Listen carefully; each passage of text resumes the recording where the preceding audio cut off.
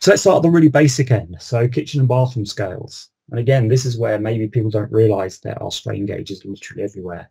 So if you're at home, you're baking a cake, you might have a weigh scale, uh, which might use one very small central load cell underneath the weighing pan. Yeah? Generally pretty low cost. Bathroom scale often will use four miniature load cell, one under each of the four legs. And generally these are low cost and we can therefore um, suggest that they are low accuracy. That's not to say they're low resolution because you might be apparently measuring to one gram, but the overall accurate measurement is going to be relatively low. A typical weigh scale, I think, from a supermarket is maybe 20 pounds or less, so very low cost.